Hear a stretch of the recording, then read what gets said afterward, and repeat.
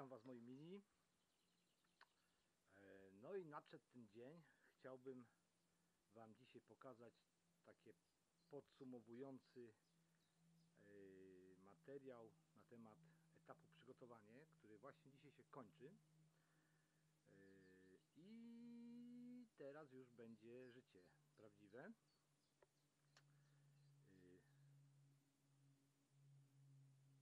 No dobra, na mnie żeście się napatrzyli, to teraz Wam pokażę, e, jak wygląda przygotowany już do wyprawy e, sprzęt. E, Więc tak, moi drodzy, mamy rower z przyczepką i jest już załadowany do drogi. Zanim Wam opowiem o tym, co tutaj mamy załadowane, rzeczy najważniejsze, czyli aspekt magiczny. A więc y, mamy serduszko na szczęście, y, mamy strażnika roweru w postaci byczka Fernando, którego nabyłem kiedyś w Hiszpanii. E, mamy oczywiście y, różdżkę magiczną na wszelkiego rodzaju y, dobrych i złych ludzi. No i jedna z najważniejszych magicznych rzeczy, jaką mamy, to piersiówka pełna na noce chłodne. A teraz już poważnie. E, Jak poszło pakowanie? Pakowanie trwało 12 godzin i było zaczynane od początku chyba ze 4 razy. E, No niestety, wszystkiego jest za dużo, jest za ciężkie i i, i, i, i, i, i, i jedzie się bardzo, bardzo ciężko. Y, Ta konfiguracja, którą widzicie teraz jest najbardziej chyba mm, wyważona, tak by y, na tym rowerze dało się jechać w miarę bezpiecznie. Y, Za pierwszym razem bardzo mocno dociążyłem przyczepkę, co spowodowało, że prowadzenie tego roweru było bardzo trudne. Teraz główny ciężar, więc wszystkie naprawdę ciężkie rzeczy są tutaj, czyli w sakwach y, i, i dzięki temu rower stał się stabilniejszy, a przyczepka nie szarpie go tak w czasie jazdy, zwłaszcza na podjazdach. Y, Co my tutaj mamy? Jedna informacja ważna. Sprawdziłem, do plecaka mogę wsadzić wszystko, co jest mi niezbędne, żeby żyć bez roweru i przyczepki. A więc jeżeli e, z jakiegoś powodu e, musiałbym rower i przyczepkę opuścić czasowo, czy też już na stałe, e, jestem w stanie zabrać wszystkie rzeczy, które są mi potrzebne do tego, by żyć, do plecaka, który będzie oczywiście bardzo ciężki, będzie ważył, przypuszczam, gdzieś około 30 kg. Natomiast no, niestety nie mam wagi, żeby zważyć te rzeczy, ale tak czy inaczej jest yy, dobrze skonstruowany, ma, ma dobry pas biodrowy. Yy, chodziłem tutaj z nim dość sporo, załadowanym. Da się z tym iść nawet bardzo daleko.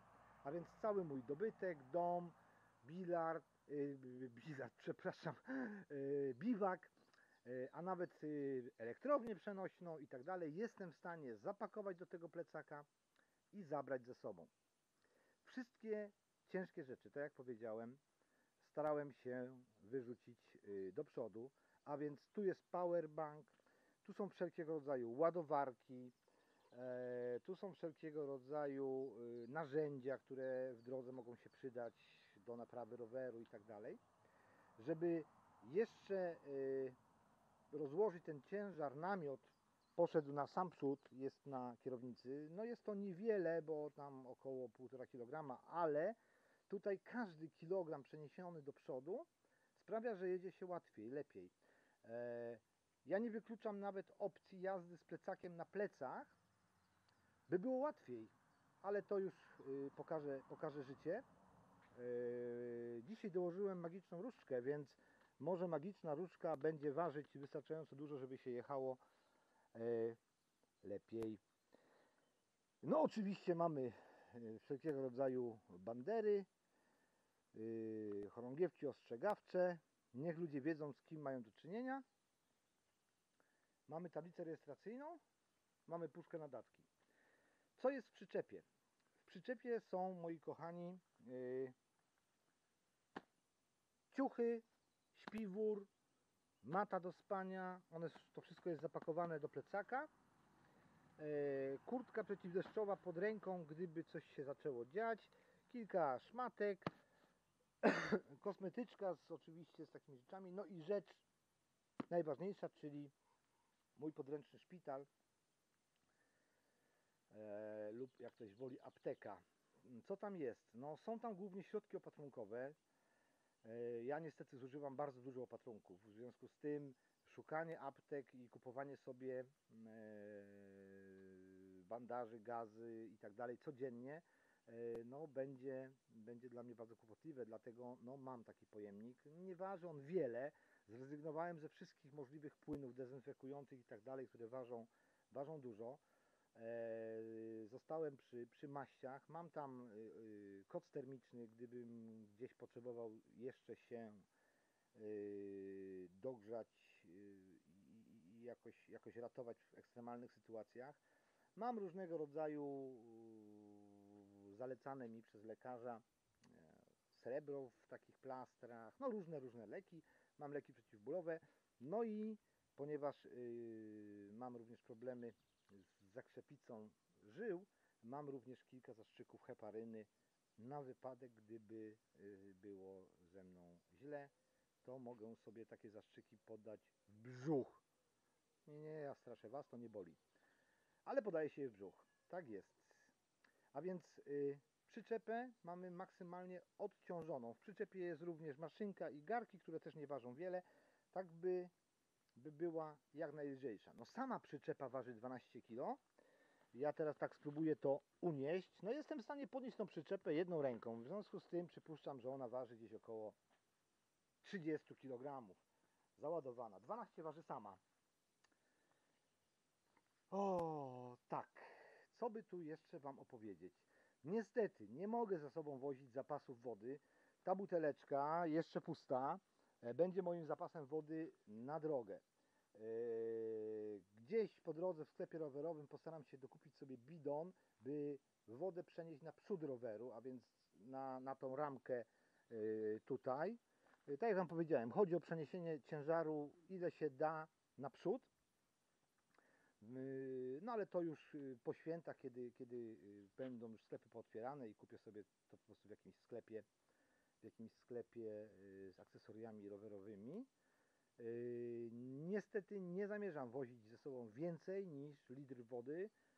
Yy, No będę musiał po prostu tą wodę regularnie uzupełniać, że tak powiem, po prośbie.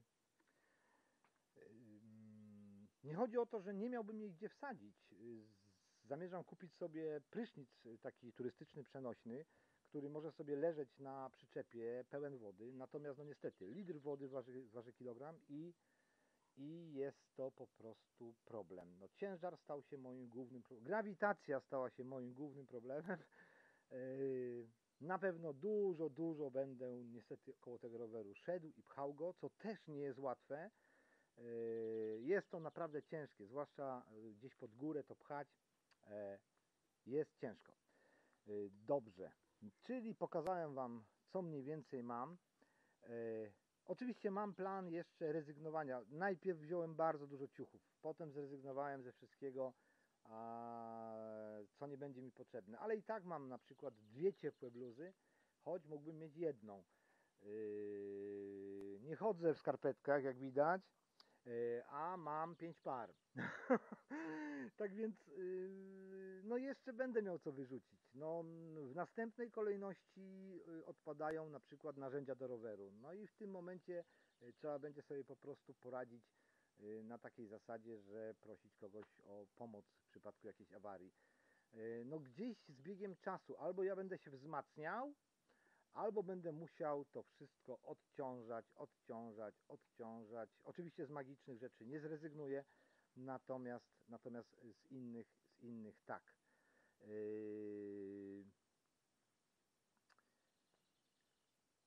Pewnie niektórym z Was przyjdzie do głowy, co na wypadek deszczu. Jak widać, to nie są jakieś bardzo, bardzo wodoodporne rzeczy, ta plandeka i tak dalej. Na pewno nie da się z nią jechać, bo wtedy z dołu na tą, do tej przyczepy będzie się wlewał, nie da się z nią jechać w czasie deszczu, bo wtedy będzie się wlewała do niej woda.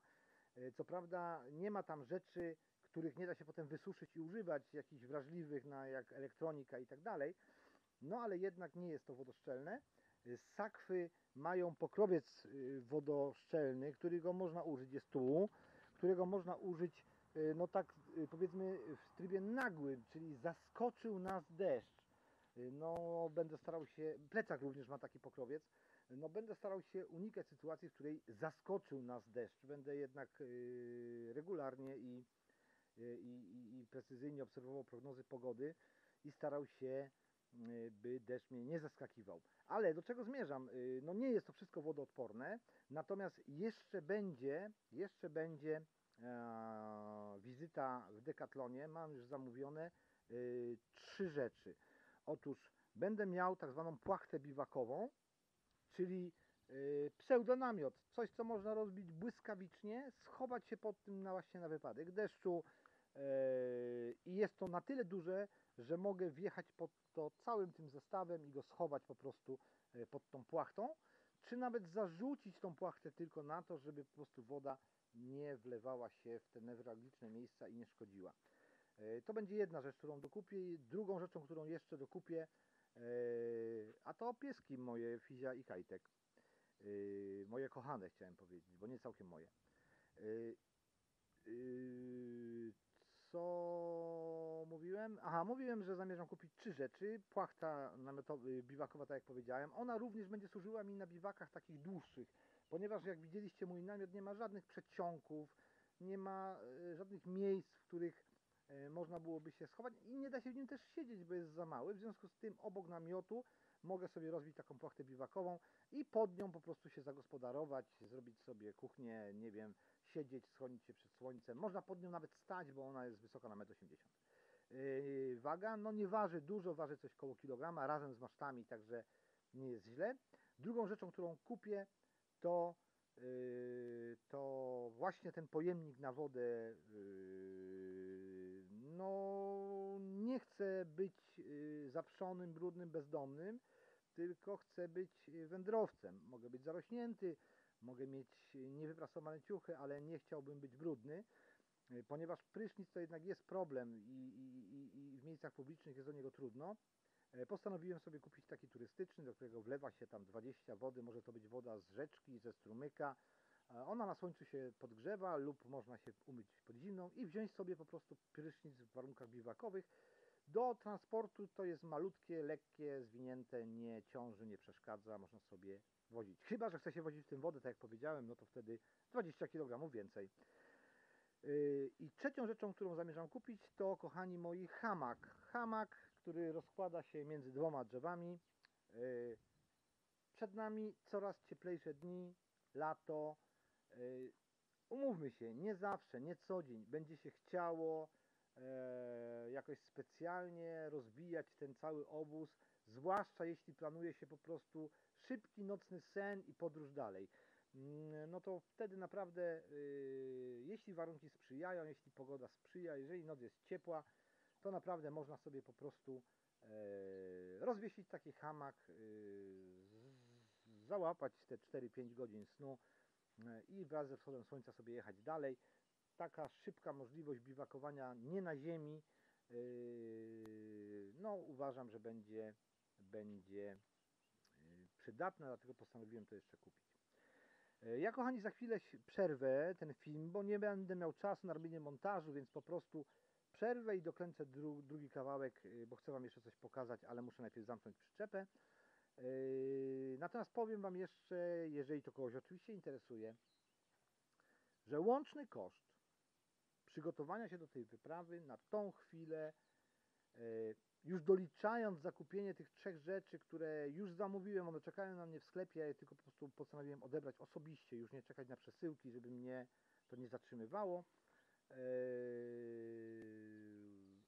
powiedzmy na okrągło, no to jest 10 tysięcy złotych. Wszystko, co tutaj widzicie, wszystko, co jest